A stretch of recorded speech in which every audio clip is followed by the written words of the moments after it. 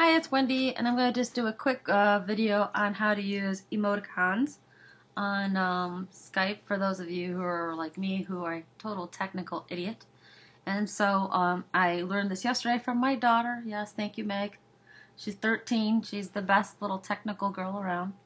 So anyway, so what I usually do is I go into, my daughter told me to go to Google, and we're going to go to Google, and we're going to um, put in their Skype emoticons. And this has a Skype emoticons and flags cheat sheet. So if you want to use a cheat sheet here is the little cheat sheet. You can get all the little uh, ideas of what these are. There's one puking though angry wasn't me. There's one with the party on it. That's a good one. I like that there's all the little different ones if you don't know how to use it. So you just go to Google. You, you can um, go ahead and uh, put in their Skype emoticons and it will pull it up. So, all right, let's just uh, go with, um, I like the one that's got the swearing one. That's pretty good.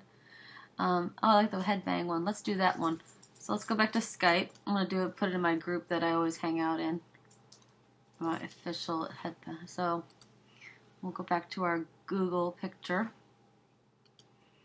And we're going to go to the headbang, right? So we're going to put it in parentheses, headbang.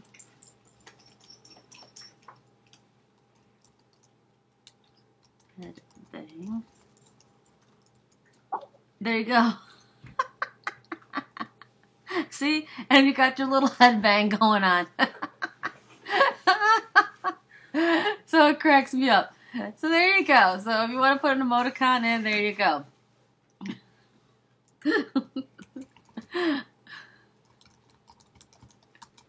Just saying, so people don't get worried. But anyway, so that's how you add emoticons. So if you have any questions, feel free to work with Wendy Elwell. Dot, visit me at workwithwendyelwell.com. It's a pretty cool site. So, um, and um, there you go. How to add emoticons and have a good time and freak people out. All right. Have a great day. Bye.